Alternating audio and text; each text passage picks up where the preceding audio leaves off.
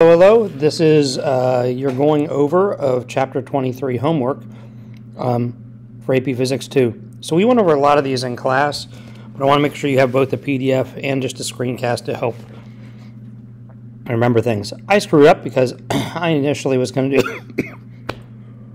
Ooh, pardon me. Um, question 7. I like it, but I didn't assign it. So that's an oopsie.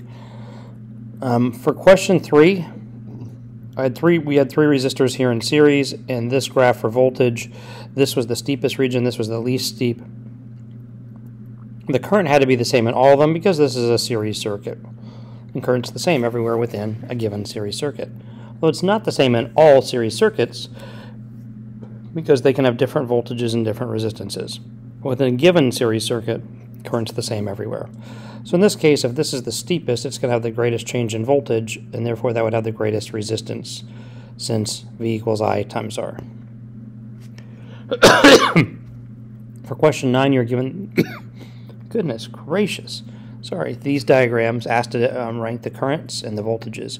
Well, the voltage across AB is the same as the voltage across CD because both of those are completely surrounding the same battery. So it's the full voltage of the circuit. To rank the currents, the current, and I don't know if I did this, I think I'll actually have to go ahead and do this then for B. I1 is greater than I2, which equals I3. Ugh, I don't know where I put that. Um, so essentially here, because this has less resistance, there's more current. In this circuit, there's less current, but that current is the same in both places. 36 we had a good discussion about. So, in series, the 40 watt bulb is going to be brighter. The reason is normally these bulb ratings in terms of power are in terms of, of parallel circuits because that's how our homes are wired. So you could go back and figure out that the resistance in a 40 watt bulb P equals V times I, and then V equals I times R. Or you could say P equals V squared divided by R. Either way, you can figure out the resistance. That ends up being 360 ohms for a 40 watt bulb, 240 ohms for a 60 watt bulb. So that kind of makes sense because less resistance in a bulb that ends up being brighter. and brightness is the thing that's most um, related to power in terms of light bulbs. Well, now if we think about that, now if we put them in series, we only have 120 volts and it's going to be split between the two bulbs. But this bulb has more resistance than the 60 watt bulb. And so therefore it would take a greater percentage of the voltage to overcome this than it would this. And by the way, the power rating for these in series is now no longer 40 watts and 60 watts. Both of them are lower than the rated values, but the 60 watt one is much lower because it has less voltage compared to the 40 watt bulb.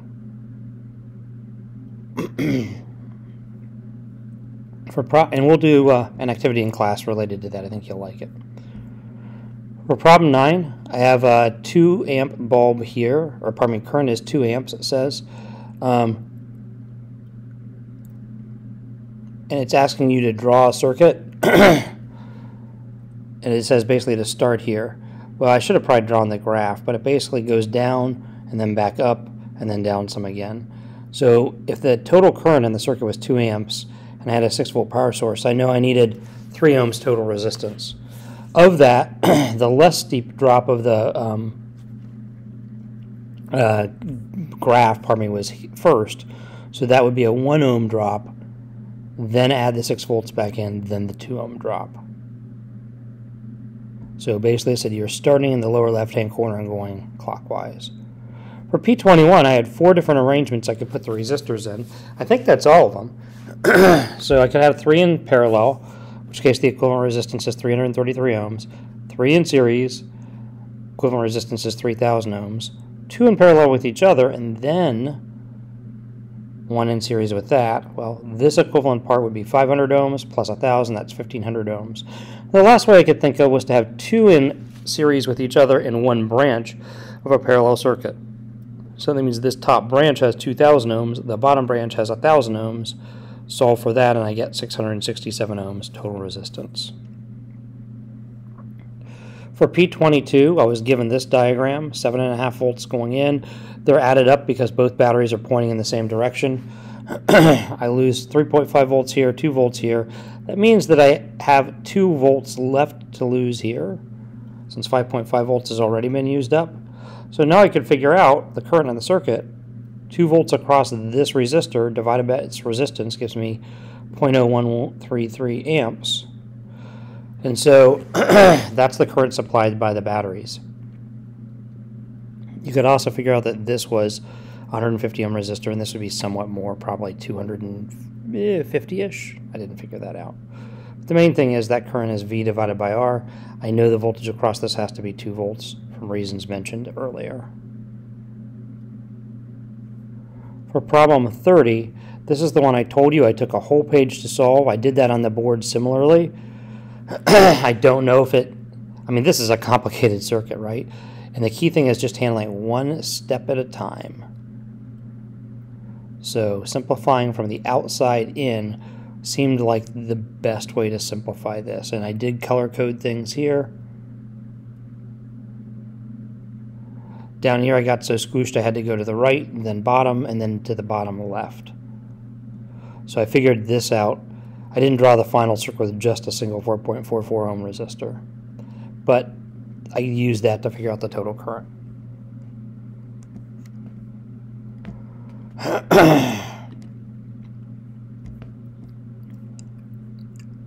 this one we talked extensively about in class. This is sneaky, sneaky, sneaky. Basically bottom branch of a parallel circuit, middle branch of a parallel circuit, top branch of a parallel circuit. So there are three separate paths for that electricity to go. The current through each 10 ohm resistor is 1 amp. I've drawn the directions of the current.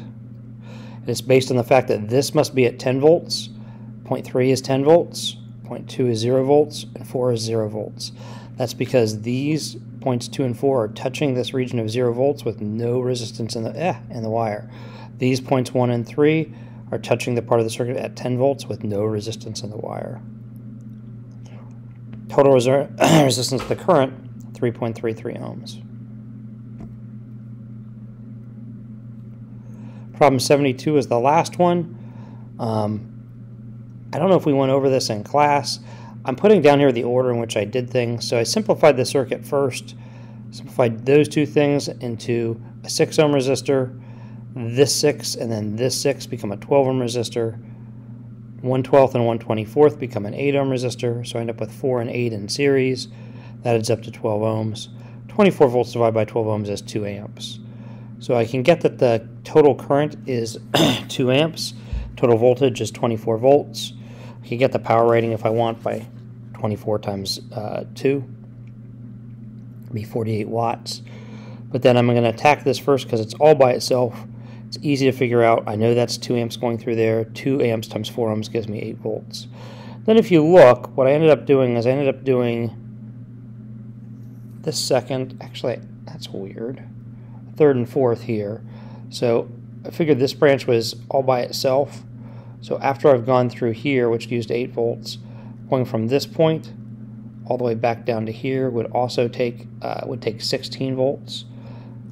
So since this outer 24 ohm resistor, the one with a dot above it, is the only thing in that path, that would have to be 16. Or, uh, oh, did I screw up? I think I screwed up. Ah, I'm going to have to look at this. Um, yeah, nope, I didn't. I didn't. I didn't. Okay. 24 minus 8 is 16 volts. I was looking at the wrong 24 ohm resistor. I put one with a dot and one with a star. Ugh. So that's the third thing I did. And then in this branch, 16 volts divided by 24 ohms gives me 0.67 amps. So do that third and fourth. That means that I know that the total voltage across this whole mess here, which is equivalent to 12 ohms, is also 16 volts. 16 volts divided by 12 ohms gives me 1.33 amps. That's what I attack next. So I'm thinking whole branch now and then the current, uh, the voltage across this 6 ohm resistor is that current times just that 6 ohm resistor. That's 8 volts. If I know the voltage across this whole component is 16 volts, which I already figured out here, and I used 8 volts here, that means the voltage across either of these would also be 8 volts. So that's what I did seventh. And then the last one was the voltage divided by the resistance. So 8 volts divided by 8 ohms is 1 amp. 8 volts divided by 24 ohms, 0.33 amps. So hopefully this helps, and hopefully you're getting a hang of how to solve for series, parallel, and combined circuits.